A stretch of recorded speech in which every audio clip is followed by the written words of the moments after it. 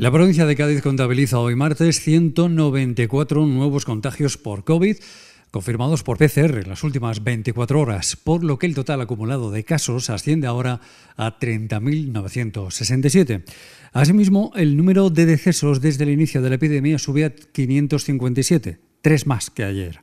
Además, se han registrado ocho nuevos ingresos por COVID, por lo que el total acumulado desde el comienzo de la crisis sanitaria asciende a 2.308 personas. Por otra parte, el número de pacientes que han necesitado pasar a UCI sube hoy a 262, uno más. Con estos datos, las cifras oficiales señalan que actualmente hay 176 personas hospitalizadas por coronavirus. De ellas, 33 se encuentran en UCI. Las mejores noticias vienen un día más por el número de gaditanos que han superado la enfermedad, 26.123, 111 más.